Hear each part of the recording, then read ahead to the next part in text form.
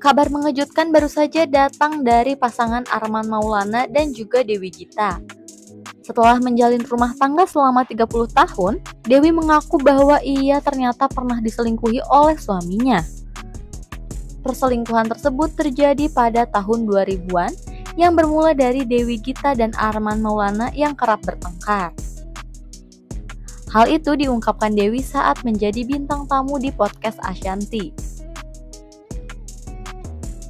Dewi Gita menyebutkan bahwa tahun 2000 itu ada rilis album aku Kegaiban Biru.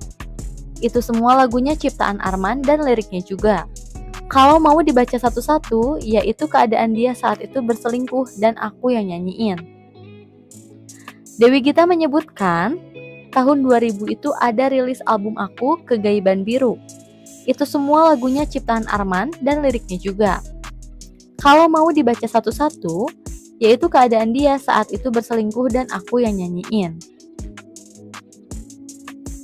Pada awalnya, Gita mengungkapkan bahwa ia tak menyadari lagu tersebut ditujukan untuk perempuan selingkuhan Arman.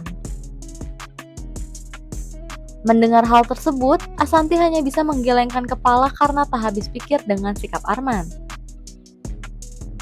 Meskipun begitu, Dewi Gita tidak sepenuhnya menyalahkan Arman Maulana.